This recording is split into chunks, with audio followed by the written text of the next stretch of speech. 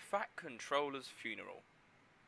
It was a busy day on the island of Sodor, and the engines were at the sheds, waiting to hear from Sir Topham Hatt. Bubbling boilers! We're waiting to hear from Sir Topham Hatt! Sir Topham Hatt arrives in his car, steps out of it, walks towards the engines. Yeah, hello everyone! Lovely day! Today we're going to. The Fat Controller slips on something and bashes his skull. He is now dead. Sir? We cut to the funeral. Sad music for Funeral Homes number 11 is playing. Everyone is at the funeral, going to Sir Topham's casket. Cranky says, Oh, this time I was far too late. Farmer McColl walks up. God, I wish that were me. Yeah, me too.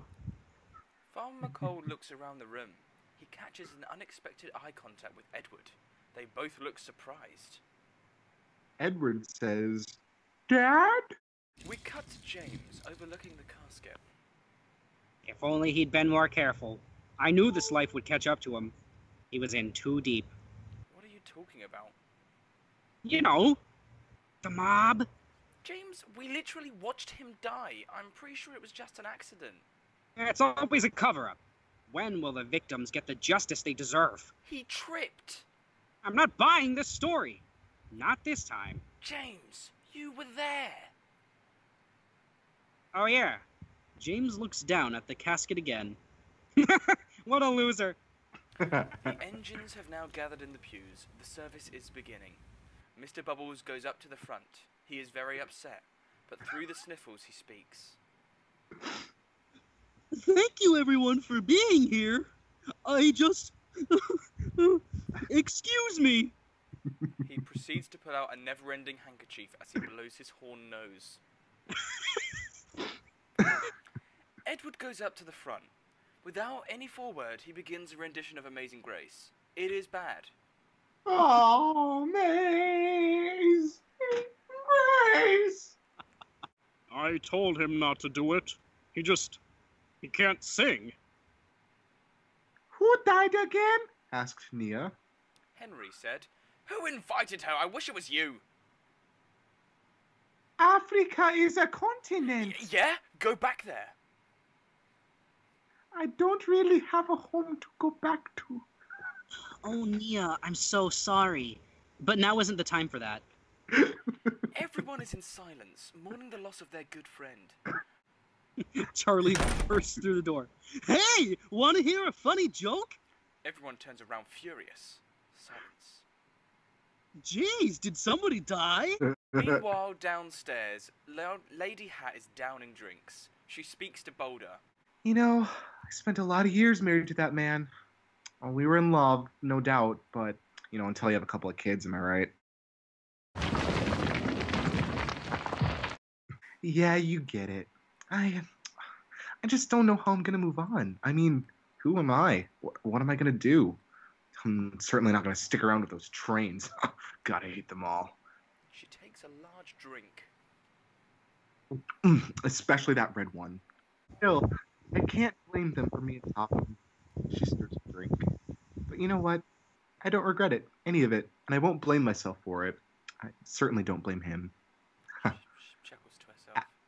Actions speak louder than words, Boulder. Thank you so much.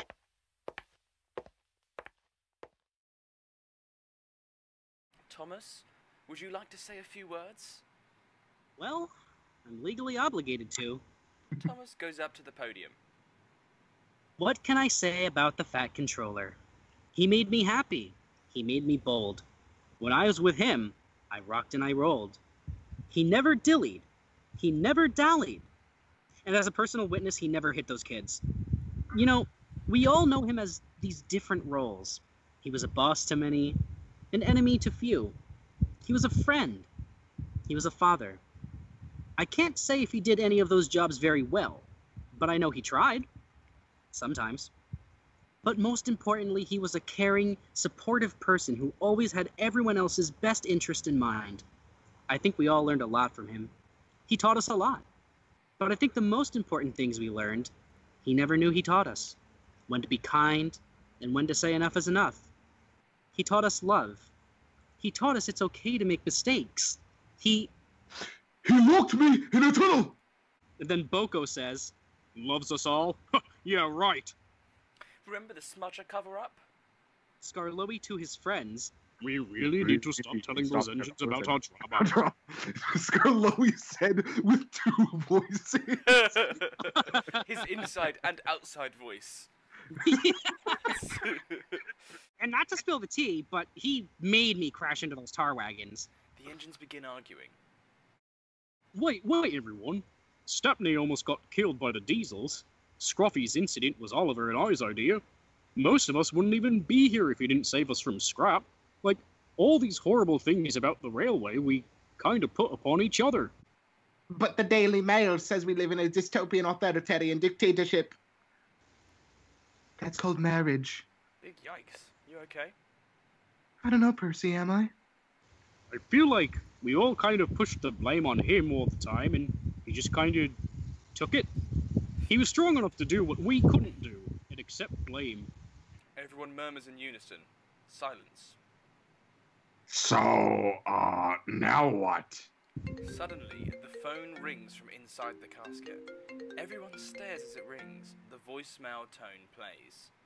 New message. One new message from the Earl of Sodor. Surprise! Hello, Topham! Heard everyone was getting together for something. Is it your birthday today? I'm sorry I couldn't make it, but you deserve the best, and I hope you have an amazing day. Can't wait to get together soon. Bye! Moment of silence. A collective. Oh. So, who's gonna tell him?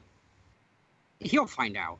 Hey, what's up, guys? It's Duck here, aka Troublesome Junction, and I want to give a thank you to the boys over at the Busted Buffers channel for letting me make this video. Uh, the Day with the Trains livestream event had a whole lot of unused uh, scripts read aloud, and this one was so much fun to film. Originally, I was going to animate it, but it didn't go exactly to plan, so I ended up just doing it like this. And I'm really happy with how the video turned out, and I hope all of you guys like it too. So, big thank you to their channel, link in the description to them, and I'll see you guys on the flip side.